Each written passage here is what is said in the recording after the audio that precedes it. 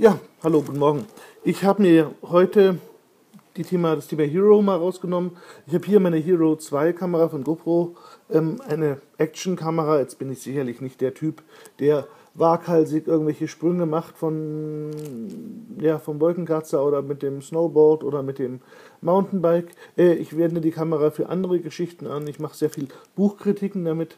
Ähm, wer meinen Blog kennt, äh, weiß, ja, was ich damit mache. Aber dennoch war ich nicht ganz zufrieden, ähm, und zwar in Sachen Auflösung. Ähm, ich hätte gerne eine größere Auflösung gehabt, weil ich gerne das Material mit dem HD-Material von anderen Kameras zusammenschneide. Und da habe ich immer wieder Sprünge drin und ich will eigentlich richtig große Auflösung. Ähm, so war es wohl an der Zeit, dass ich die Hero 2 langsam in Rente schicke und habe mir heute vom Fachhändler meines Vertrauens die Hero 3 ähm, besorgt. Ich packe sie mal aus. Ähm, bin sehr gespannt, ähm, was sie bringt an Leistung. Das Interessante, was wir hier haben, ist, wir haben ja eine ganz, ganz hohe Auflösung, ähm, sogar bis zu einer, bis zu einer 4K-Auflösung. Also richtig großes, großes Kino. Ähm, ich habe im Netz gelesen, manche Leute waren nicht begeistert. Der Support von Hero äh, von GoPro ist nicht so berauschend. Ich will es jetzt einfach mal ausprobieren, ähm, weil ich gesagt eben von der von der Zweier sehr sehr stark begeistert war.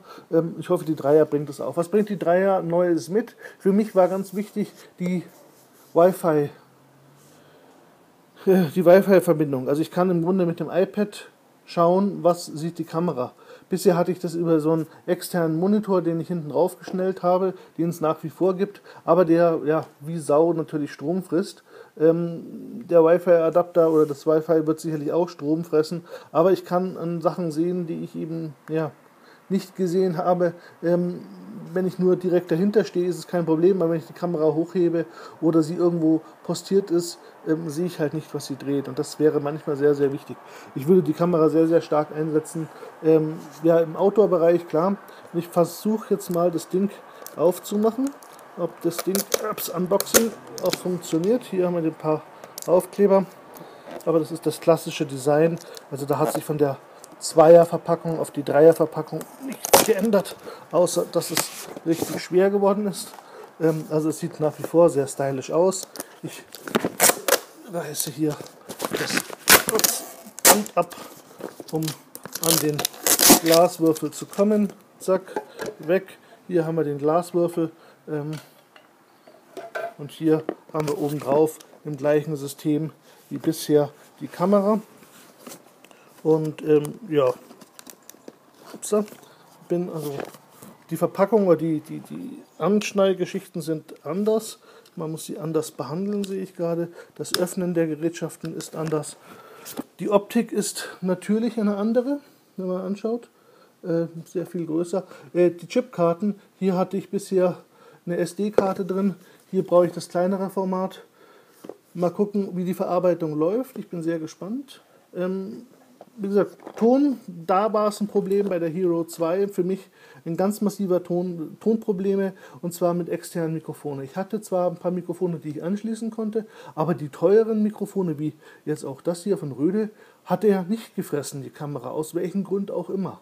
Äh, ich hoffe, dass das jetzt mit der Dreier vorbei ist und ich im Grunde auch einen glasklaren Ton rauskriege. Das war sicherlich ein großes Manko ähm, der Zweier. Aber wie gesagt, im Netz äh, kursieren sehr, sehr viele äh, Schimpftiraden drin, dass sehr, sehr viel Internetverbindungen abbrechen, ähm, dass ja, die Leute nicht zufrieden sind mit dem Ergebnis und vor allem bei dem Preis. Wenn man sieht, was das ganze Zeug kostet, der ja, Triebhautständer da unten, äh, alleine ein Stück Plastik kostet 10 Euro, die, die Stirnbänder und die ganzen Sachen kosten ein richtig Schweinegeld da lässt sich natürlich fragen, muss das sein? Ähm, für mich gibt es derzeit nur die Hero. Die Sony-Leute haben auch eigene Kameras rausgebracht.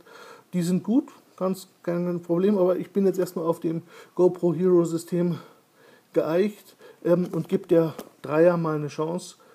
Und ja, ihr werdet es vor allem sehen an den nächsten Videos, die ich drehe. Die werde ich dann natürlich mit der Dreier machen. Ähm, also Zeitenwende, Zweier weg, Dreier ist da. Viel Spaß.